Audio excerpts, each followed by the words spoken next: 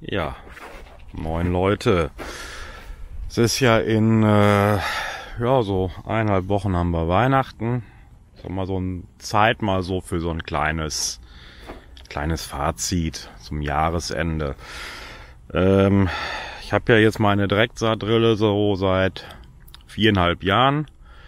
In äh, ja, nicht ganz zwei Monaten mache ich meinen Betrieb seit elf Jahren aktiv selber. Und äh, ja, da kommt man doch schon mal so ein bisschen so ins Nachdenken. Aber nochmal kurz vorab, ähm, ich bin jetzt hier nochmal auf der Fläche, wo ähm, auch Mobgrazing ist, aber ähm, hier, wo der ähm, Schäfer die drüber treibt, das muss ich nochmal dabei sagen, stand hier auch ein bisschen mehr von der Zwischenfrucht. Ne? Ähm, vielleicht nochmal kurz ähm, zu den Parzellen. Also was entscheidend ist, ist eigentlich, dass die Tiere nicht länger als einen Tag in der Parzelle drin bleiben, weil sonst äh, fressen die halt die Stellen, wo es ihnen am besten schmeckt, auf Null runter und äh, die anderen Stellen packen sie nicht an. Deshalb ist halt wichtig, dass da irgendwo ein bisschen, bisschen Mobilität drin ist. Ne? Ähm, was natürlich jetzt ist, äh, ich sag mal klar, die meisten Sachen sind, sind abgestorben. Ähm, ja, Klee hat sich eigentlich in den letzten Jahren irgendwie immer im November schön breit gemacht, als die anderen Sachen abgestorben sind. Äh, dies Jahr kaum zu finden, deswegen sind eigentlich fast nur noch Gräser hier. Weil ich sag gerade kaum zu finden. Ja, muss ich mich erstmal hier an diese Kamera hier gewöhnen. Naja, dazwischen ist er auf jeden Fall noch irgendwo. Ähm, das ist jetzt wirklich mal ungewöhnlich. Ah, ja, ja, ja. So, wo haben wir es denn? Da, da haben wir mal schön. Ah, jetzt erkennt man es. Da ist noch so ein schöner Köttel. Hier ist Klee. Ja, die Köttel, die helfen auf jeden Fall hier beim Humus. Und das, ja, das Massieren des Bodens soll auch einen Effekt haben. Äh, da ist noch ein Tillage Radish. Ein bisschen was von allem ist noch zu finden. Und äh, ja, ich verpasse den Schäfer hier leider jedes Mal genau. Ich äh, das eigentlich gerne mal sehen, wie er so drüber treibt. Ähm, manche Pflanzen hier treiben auch übrigens schon wieder aus. Ähm, ich hoffe mal auf dem Monitor, das kommt halbwegs rüber. Also es ist, es ist glaube ich schon noch ein bisschen grüner, wie es ähm, auf dem Monitor hier aussieht. Aber naja, da kann im Frühjahr wenigstens noch mal ein bisschen was passieren. Aber wer da jetzt dran denkt, das war hier, ähm, dass man hier irgendwas hätte krimpen können. Ähm, das können wir vergessen und das ist mal relativ einfach zu erklären. Ähm, weiß es nicht, sieht man da so ungefähr grob, wo die Sonne steht. Ähm, wir haben gerade Mittag. Ne? So, und wir sind hier auf den 52. Breitengrad. Und ähm, ja, in ein paar Tagen ist der kürzeste Tag. Also kann ich eigentlich die Erdachse annehmen von 23,5 Grad. Das heißt, der höchste Punkt, wo die Sonne momentan hinkommt, das ist 14,5 Grad vom Boden. Also heißt kurzum 90 Grad minus den 52. Breitengrad minus die Erdachse. Bei einem Winkel von 14,5 Grad passiert nichts mehr. So, und das höchste, wo wir hinkommen im Sommer, ne, das ist 52 plus 23,5. Oder wo wir im Jahresmittel sind, vom Winkel her, vom Boden aus gesehen, von der Sonne. Ähm, jetzt nochmal ganz schnell überlegen, 90 Grad minus 52. Ne? Also im Schnitt des Jahres steht die Sonne immer auf 38 Grad. Das ist unser Einfallwinkel. Das wächst hier nicht so dass wir da was zum Runterkrimpen haben, wie in den Regionen, wo die das machen. Also wenn da jetzt in irgendwie so ein Programm drin steht, ja, Bodenbearbeitung ist Mist, aber total Herbizide wollen wir nicht, sind total schlimm. Es geht doch auch ne, mit Zwischenfrüchten. Ja, Leute, ich kann auch sagen, wir Deutschen, wir fliegen äh, nächsten Monat zum Mars. Ist, theoretisch ist das auch möglich. Mit der Praxis hat leider beides nichts gemeinsam. Aber gut, fangen wir mal mit so einem mit so einem kleinen Fazit an. Ich setze mich mal so lange wieder ins Auto, weil da ist ein bisschen wärmer. Also, im Schnitt muss ich sagen, über die ganzen Jahre sind die Erträge leicht gestiegen. Das heißt, in meisten Stellen sind sie einiges gestiegen und ein paar Flächen, die noch Probleme machen, da sind sie gefallen, die kriegen wir aber noch in den Griff. Na, da sind wir mit Kinsey noch nicht fertig und äh, manche Böden, wenn ich echt mit wenig Humus starte, ja, da ist erstmal nicht so optimal. Also deshalb wirklich die Leute, die was Richtung Direktsaat machen wollen, stellt nicht den ganzen Betrieb auf einmal um und nicht von Flügen auf Direktsaat. Ne? Ich weiß, wenn man das ganze System einmal verstanden hat, dann ist man so hoch motiviert und will sofort alles. Ey, das kann in Hose gehen. Und dann seid ihr nämlich nachher genau die, die rumtönen. Nee, es geht nicht, es geht nicht, ich habe mir Mühe gegeben und dann macht das allen anderen wieder, wieder mies. Und äh, das will ich eigentlich verhindern. Und äh, ja, man braucht, man braucht ein dickes Fell. Ne? Deswegen rasiere ich mich auch so selten. Ähm, also gar nicht mal unbedingt, ja, ein Teil auch, so das Gerede von den Leuten. Wobei es geht eigentlich noch. Ich meine, ich wohne ja hier nicht in Betriebsnähe, ich krieg's nicht mit. Also, das ist alles ganz okay. Ähm, nein, aber man muss sich auch einfach dran gewöhnen, dass, dass die Früchte, die sind einfach langsamer. Es sieht das ganze Jahr nach weniger Ertrag aus und nachher dann am Ende, wenn die, wenn die Korn- oder Kolbenfüllung ist, dann ist noch Wasser da dann geht die Mineralisierung richtig rund und dann wird Gas gegeben. Ja, also ganz kurz, am Ende wird abgerechnet. Ähm, ja, so summa summarum brauchen weniger Dünger, weniger Pflanzenschutz, weniger Diesel. Ich würde das mal so im Moment in dem System, da wo ich bin, großteils mit, ja, zwischen 20 und 40 Prozent betiteln. Also kurzum, ich mache eigentlich alles, was die, ähm, was der Staat sich von uns wünscht. Hoffen wir doch mal, dass er einen auch das weitermachen lässt und eigentlich die Werkzeuge wegnimmt. Ähm, und ja, wenn ich mir so die Betriebe anschaue, die schon zehn Jahre länger dabei sind, wo die schon sind. Also ich sag mal, ähm, den Herrn Zink zum Beispiel, ja, regelmäßig über zehn Tonnen im Weizen, teilweise elf, zwölf da wo alle rundherum bei 8 Tonnen liegen, weniger Dünger, keiner Bodenbearbeitung, ganz wenig Pflanzenschutz. Ja, ich würde sagen, das ist so mal erstrebenswert, dass man da mal hinkommt. Und äh, ja, ich sagte ja gerade irgendwo 20, 40 Prozent weniger Dünger, Pflanzenschutz, aber also bei den Sachen, wo wir jetzt im Moment bei sind, wenn wir da mal richtig ein System haben, wenn wir das mal alles etabliert haben, also dann kommen wir noch einiges weiter runter. Ich kann mir gut vorstellen, dass wir alles bald, nicht alles, aber vieles über die Nährstoffe und Blattanalysen und und und geregelt kriegen. Also da kann man noch einiges machen. Ähm, ja, ich habe ja gesagt, weniger Diesel. Ähm, Moment, ich habe mein Handy hier noch in der Hand. Ich gucke mal parallel nach. Ich habe mir ein paar Sachen aufgeschrieben, wenn ich es jetzt finde. 29 Liter Diesel pro Hektar für Trecker und Mähdrescher in diesem Jahr. Wenn ich noch den Transport, das heißt den Transport bei mir in die Halle, die Einlagerung, die Auslagerung und teilweise den Transport zur Mühle oder zum Hafen oder sonst was, also dann nochmal eine Stunde mit dem LKW weg und wieder eine Stunde zurück, mit reinrechne, bin ich bei 34 Liter pro Hektar. Gut, war ein Jahr mit wenig Ertrag. Im höheren Jahr rechnen wir mal zwei, drei Liter drauf. In einem anderen Jahr, ey, das ist so verschwindend wenig im Vergleich zu dem, was andere Betriebe brauchen. Äh, generell viel weniger Blech. Diesen ganzen Quatsch, diese ganzen Scheiben in Grubber, was wir alle nicht mehr brauchen. Man lässt einfach ein altes Ding mal so für Notfälle in der Ecke stehen. Ich sag jetzt mal, wo die, für die Stellen so, wo wo Kalk und HTK geladen wird und sowas. Ähm, oder wenn man mal irgendwo Flächenübertausch wieder dabei kriegt zum Einebnen. Ähm, ja, mein Gott, das alte Ding, das frisst ja kein Brot mehr. Das verschleißt dann auch kaum. Muss ja auch nichts Neues für gebaut werden. Ähm, ich liege bei 1,7 Traktorstunden pro Hektar. Dann, wenn ich nochmal den Teleskoplader mit reinrechne, den Mähdrescher und dieses kleine Treckerchen, mit dem wir die Feldränder machen, ähm, bin ich bei zweieinhalb Stunden. Da ist meine komplette Ein- und Auslagerung mit drin.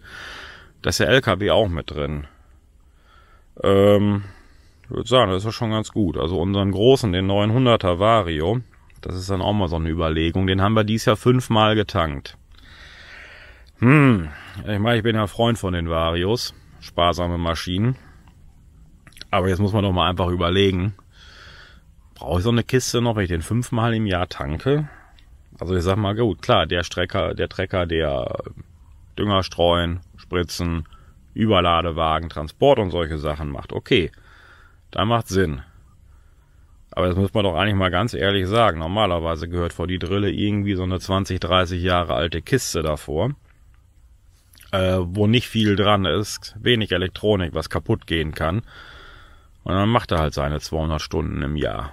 Oder 230, mehr hat er ja nicht gemacht. Ähm, spielen wir das Ganze mal ein bisschen weiter.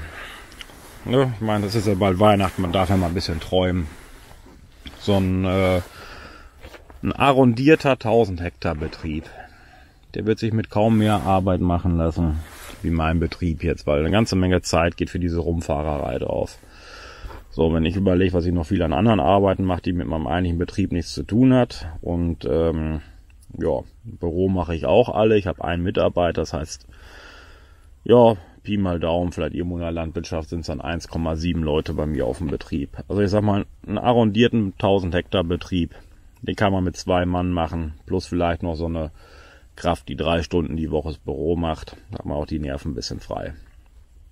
Ähm, mal so ein bisschen weiter gesponnen, was dafür reichen würde. Nehmen wir einfach mal so einen alten, so einen alten 4955, so eine 30 Jahre alte Kiste, packen eine 6 Meter Novak dahinter. Also auf den Böden, wenn es nicht gerade Tonböden sind, das zieht der. Dann nehmen wir noch so einen 516 eine Acrio-Spritze, 36 Meter, irgendwie sowas günstiges, reicht. Morgens schön in Tau fahren, kein Wind, Gestängeführung, scheißegal. Äh, Reifenregler dran, dann liegt alles schön ruhig. Ach so, und ganz entscheidend auch der, das Wichtigste, was der, was der Trecker vor der Drille braucht, der braucht eine Klimaanlage, der braucht Michelin-Reifen, einen Reifenregler. Gefederte Vorderachse ist völlig überflüssig. Wir fahren mit 40 km/h bei uns mit dem Düngerstreuer. Also, mein Gott, wenn wir da nur noch 30 fahren können, ist auch okay. Die Flächen, die werden sowas von eben. Das ist, das ist der Hammer. So, dann noch sagen wir so ein 770er Lexion oder irgendwas von mir aus auch ein New Holland. 12 Meter irgendwas Schneidwerk für ein CTF, ein Überladewagen, ein LKW. So. Und dann ist fertig. So, man könnte das Ganze auch einfach mal weiterspinnen. Arrondierter 2000 Hektar Betrieb. Ja, einfach das Doppelte an Technik. Ähm, bisschen größere Überladewagen, nicht viel. Ja, und zwei Angestellte und ein Chef. Hm. Mit drei Mann 2000 Hektar. Ackerbau. Satt. Problemlos machbar. Aber, ja gut. Meine, im Moment geht's ja schon langsam los. Betriebe stehen hier zum Verkauf. Aber ähm, ich sehe so, einfach nochmal abwarten. Die werden auch wieder billiger. Ähm, wenn die Gesetze mal alle durch sind und es gibt kaum noch Betriebsleiter, ne, überall außerhalb Deutschlands fallen die Landpreise schon. Und äh, nur mal so, das letzte Mal, dass die Verschuldung in der Landwirtschaft so hoch lag wie jetzt, das war Anfang der 80er. Kurz danach sind die Landpreise auf ein Viertel gefallen. Und wenn ich jetzt mal hier überlege, ein Viertel der jetzigen Preise also wenn wir da nochmal 30 Prozent abziehen, da hat man mir vor zehn Jahren gesagt, das rechnet sich nicht, das kriegen sie nie abbezahlt. Also ein Fünftel der jetzigen Preise sozusagen, ungefähr. Ähm, und das bisschen, was sich die Getreidepreise seitdem verbessert haben, da sind auch die Löhne gestiegen und die Maschinenkosten und Pflanzenschutz und Dünger und auch alles. Also ich weiß nicht, wie da eine Rechnung rankommen. Also im Moment, das ist eine Blase, die einzig und allein auf dem Zinsniveau liegt und sonst nichts. Ist halt einfach nur die Frage, was kommt zuerst? Kommt eine Hyperinflation oder kriegen wir wieder normale Zinsen? Wird die Währung quetschen oder nicht? So, und danach wird sich auch mal irgendwann mal wieder was relativieren. Aber ich weiß es auch nicht in der Landwirtschaft. Es kann auch sein, dass es vorher kommt, weil, wie gesagt, rundherum die Preise, die fallen in allen anderen Ländern. Und dieser Schwachsinn von den Investoren, Ackerland ist knapp, das wird nur wertvoller. ja, natürlich. Genau deshalb gibt sich Deutschland ja auch gerade größte Mühe, um die Produktion zu senken. Also da ist noch so viel Potenzial in anderen Ländern, wo noch so viel Ertrag rausgeholt werden kann. Das reicht noch ein ganzes Zeitchen. Ähm, ja, was ist noch? Warum, warum brauchen wir noch weniger Dünger? Man muss ja einfach mal nur so überlegen, dass so von den meisten Hektar in Deutschland so sieben Tonnen Ackerland im Jahr pro Hektar verschwinden. Ja, also so ein halber Millimeter. Wenn man mal überlegt, dass es der gute Teil, der weggeht mit dem Wind und mit Wasser, nicht der schlechte. An manchen Stellen sind es auch ein bisschen mehr, was weggeht. Was sind da Nährstoffe drin? die irgendwo anders landen. Wenn wir das schon mal nicht mehr haben, was sparen wir dadurch schon alleine an Dünger? Dann müssen wir, da braucht das Bodenleben noch gar nicht viel für uns arbeiten, um was verfügbar zu machen. Nur der Teil alleine. Wir suchen auch keine Steine mehr. Gut, sind ja auch Mineralien, die wir nicht mehr vom Feld runterfahren. Also früher drei Wochen, jede Woche, also jede Woche, da sag ich mal so Montag, Mittwoch, Freitag, damit man sich zwischendurch mal wieder ein bisschen aufwärmen kann, mit drei Mann Steine suchen im Frühjahr vielleicht auch nochmal. Das, das ist jetzt runter auf ein Tag im Jahr mit dem Quad, einer alleine, der gleichzeitig ähm, mit der Legeflinte rumläuft und dann irgendwo so 100 Hektar fertig macht. Ähm, apropos Mäuse. Dieses Jahr hatten wir mal ein Mäusejahr. Hat knapp über einen Tag gebraucht, eine Person, 140 Hektar. Ähm, hatten wir zu Murkser Zeiten schon mal schlimmer. Aber gut, ähm, wir haben eine Drille, die alles platt walzt und platt ablegt. Damit haben wir keine Häufelchen da. Das sieht mit einer Zinkenmaschine ein bisschen anders aus. Und man muss da echt einen Blick drauf haben. Und auch mal mit der Drohne los, das hilft echt. Also, ähm, wenn man das verpasst, dann wird's richtig Arbeit. Und dann kann's auch richtig wehtun. Wildschweine, die machen kaum noch Schaden. Liegt ja alles oben drauf. Die nach dem Mais haben die so ein bisschen das Maisstroh durchgewühlt. Das sieht ein bisschen wild aus, aber der Boden, da ist, da ist gar nichts bewegt. Nitratauswaschung habt ihr ja schon in dem Vortrag von Teebrügel gesehen. Ungefähr halbiert. Also stellt euch mal vor, die Landwirte würden das System alle fahren. Diese ganzen Scheißgesetze, die wären komplett überflüssig. Die bräuchten wir nicht mehr. Diese ganzen Beschränkungen, wann wir was dürfen und wann nicht. Ich muss ja überlegen, ich habe in der Direktsaat ganz andere Sorgen, wenn ich einen organischen Dünger ausbringe. Ich darf den im Winter nicht ausbringen und das wäre eigentlich die optimale Zeit, in der ich nach oben keine Gasförming-Verluste habe und wo es mal nach unten irgendwie in den Boden reingeht. Ich habe ja das Problem, dass es irgendwie erstmal da reinkommt. Die Auswaschung habe ich doch eh nicht. Bei unserem Regen sowieso schon mal dreimal nicht. Das ist ja totaler Quatsch hier äh, Pi mal Daumen so ein Drittel weniger Pflanzenschutzauswaschung, weil es wird einfach besser entweder festgehalten oder abgebaut. Wenn ich da nochmal oben drauf rechne, dass ich auch nochmal 30 Prozent weniger brauche, haben wir schon mal nur noch die Hälfte. So, jetzt stellt euch das mal vor, wenn das alle Landwirte machen würden. Ne? Pflanzenschutzauswaschung, buff, halbiert. Ne? Da sind 20 Prozent Öko, sind von, von dem, was die erreichen, ein Witz dagegen. Das hilft gar nichts. Ne? So, Zwischenfrüchte, ich meine, gut, okay, jetzt nicht mehr, wir haben Dezember, aber ansonsten die Optik für den Verbraucher, ähm, da kommen genug Leute auf einen zu, sagen, oh, wie toll, oder darf ich ein paar Sonnenblumen pflücken, oder auch ja, hier mal ein Bild für die Zeitung, ähm, hilft schon ein bisschen der Landwirtschaft, immerhin mal etwas. Und ja, generell Insektenschutz, Biodiversität, Bodenbrüter, Wild im Ganzen, was das zugenommen hat. Wir haben hier regelmäßig eine Rehe auf dem Acker, das ist der Wahnsinn. Fasan, viel, viel mehr geworden. Rebhühner hatten wir vor ein paar Jahren nicht. Jetzt rennen die immer überall rum. Man ist ja auch klar, wir stören das Ganze ja auch nur noch einmal im Jahr und nicht mehr ein paar Mal im Jahr. Also die Chance, dass wir da gerade irgendwie ein Nest kaputt machen, ist viel, viel geringer. Ja gut, wenn wir Zwischenfrüchte drin fahren. Äh, zweimal im Jahr, aber also im Schnitt irgendwo 1,3 Mal pro Jahr fährt man damit irgendwas drüber, was da was kaputt machen könnte und nicht mehr drei, vier, fünf Mal im Jahr, wie es bei anderen Betrieben ist. Und äh, da gibt's ja auch eine Studie, bei Colin Size haben sie ja gemessen, äh, 800 Prozent mehr Biodiversität und alles im Ganzen bei ähm, Leontino Balbo Junior in Brasilien, äh, Zuckerrohr, ähm, ja, Monokultur, mehr Biodiversität als im Naturschutzgebiet daneben. Ja, also, ja, wie auch immer. Also wenn ich mal diese ganzen Sachen mal alle so zusammenfasse, ne, ich muss jetzt nach viereinhalb Jahren einfach sagen, also Bodenbearbeitung, ganz ehrlich, die Scheiße, die tue ich mir nicht mehr an. Wirklich. Und ähm, ja, es ist halt einfach nur entscheidend. Wir müssen irgendwie ähm, vernünftig wirksames Totalherbizid haben, was nicht unser, unsere Kultur, die danach kommt, schädigt. Und äh, ja, da ist es halt so. Da haben wir halt nichts anderes als das Glyphosat, aber sind wir mal ehrlich, ich liege hier irgendwo im Betrieb im Schnitt so ungefähr beim, beim Liter. Ähm, ich denke mal noch ein bisschen optimieren, dann kommt man so auf 0,7, denke ich mal, runter.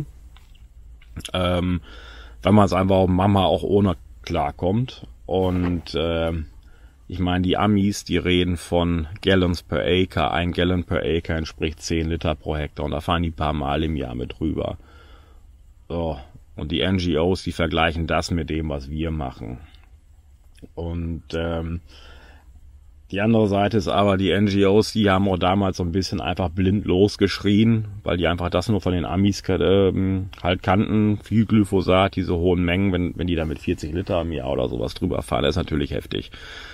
Äh, wenn das Bodenleben da nicht mitspielt, dann wird auch mal irgendwann Mangan festgelegt. Ne? So, aber die haben, die wissen jetzt langsam auch schon, wenn die Glyphosat verbieten für den Umweltschutz, das geht nach hinten los. Ähm, ja, ich meine, gut, am liebsten wollen sie das dann natürlich den Landwirt in eine, wieder in der Schuhe schieben. Aber ich meine, es besteht ja doch ein Restrisiko, dass er auf die zurückfällt. Nur die kommen aus der Nummer ja auch nicht mehr raus. Die können doch nicht einfach sagen, oh, was wir gestern gesagt haben, war falsch. Ich habe ja noch so ein klein bisschen Resthoffnung, dass sie irgendwann sagen, Leute, Glyphosat wird verboten, außer wo es Sinn macht bei umweltfreundlichen Systemen wie Mulch und Direktsaat. So, und dann wäre doch schon alles gut. So, und ich sag mal klar, dass ähm, Vorerntesikation, das gehört eh verboten, aber ist es eigentlich schon? Ich meine, da soll mir so viel Bürokratie verboten, das macht doch schon in Deutschland oder Euro Westeuropa keiner mehr. Das ist doch gar nicht drin. Ja, also sollen sie es verbieten, fertig. Von mir aus sollen sie auch sagen, äh, Betrieb, der Mulch oder Direktsaat macht, der darf äh, pro Hektar, den er hat und ja noch, was weiß ich, zwei Liter kaufen oder so und soll dann selber sehen, wo er es einsetzt, wo es Sinn macht und nicht. Ähm, wenn sie die Mengen ein bisschen reduzieren wollen. Aber ich meine, die müssen ja auch einfach mal nachdenken, wenn das Zeug weggeht, dann brauchen wir von allem anderen mehr. Ah, ich meine, gut, vielleicht ist das ja von Bayer und Monsanto gewünscht sogar, ne? Weiß man auch nicht. Aber gut, ähm, ja, zum Politischen wollte ich nachher noch mal was machen. Ich glaube, das Video ist auch schon wieder viel zu lang. Ähm, ja, ich wünsche euch noch schöne Weihnachten, guten Rutsch ins neue Jahr. Ähm, wie gesagt, wenn ich nicht, nicht alle E-Mails beantworte und alles unten drin, äh, nimm's mir nicht übel. Ich gucke da ab und zu nochmal durch, aber ja, wie gesagt, ich werde ja für die Arbeit hier nicht bezahlt. Ich mache das, weil ich das als sinnvoll erachte und ähm, weil ich ein bisschen möchte, dass das System verbreitet wird. Einfach damit wir in 100 Jahren auch noch Ackerland haben. Ähm, das ist mein Interesse dahinter, aber äh, ich meine, irgendwann muss auch mal gut sein. Ne? Ich kann euch nicht alle Fragen beantworten. Ich meine, ich werde mal irgendwie schauen, ob wir nicht noch irgendwie wieder so ein Direktsaatforum irgendwas wieder fertig kriegen. Ne? Also bis dahin, macht's gut. Ja, Leute, und ein ganz entscheidender Nachtrag noch. Wenn ihr auf Direktsaat umstellt, macht nicht den ganzen Betrieb auf einmal, geht da nicht blauäugig ran, guckt erstmal auf einen Teil, Glaubt mir, die Lernkurve die ersten zwei Jahre ist sehr groß. Das System im Ganzen ist einfacher als ein äh, Bodenbearbeitungssystem. Wenn es Analphabeten äh, in Afrika, in Südamerika hinbekommen, eine sehr gute Direktsaat zu machen, dann kriegen wir das auch hin. Aber es ist anders. Man muss umdenken, man muss lernen. Und bei uns ist es ein bisschen kühler. Die Mineralisierungsraten sind geringer. Das macht gerade am Anfang schwieriger und deshalb müssen wir dort solche Sachen machen wie Kation-Austauscherbelegung wirklich genau angucken und und und. Also es funktioniert, es funktioniert extrem gut, aber geht da langsam ran. Ich weiß, es ist so, man will zack sofort, aber geht da in Ruhe ran.